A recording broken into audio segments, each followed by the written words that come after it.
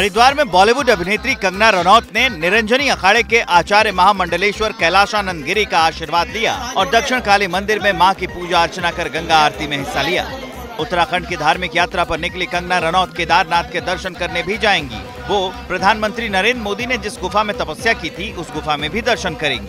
उनका कहना है कि 2024 में एक बार फिर नरेंद्र मोदी की सरकार बनेगी। 2024 को लेके काफ़ी उत्सुकता है और आई थिंक वही होगा जो 2019 में हुआ था।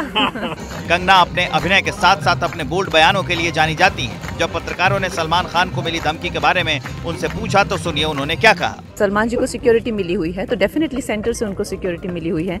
तो जिनकी रक्षा खुद स्वयं श्री नरेंद्र मोदी जी एंड श्री अमित शाह जी और वो पूरी सेंटर से जो मिली हुई है सिक्योरिटी तो उनका भी अच्छे से जिस तरह से ख्याल रखा जा रहा है। कंगना की फ़िल्म इमरजेंसी इस साल 20 अक्टूबर को रिलीज़ होने वाली है।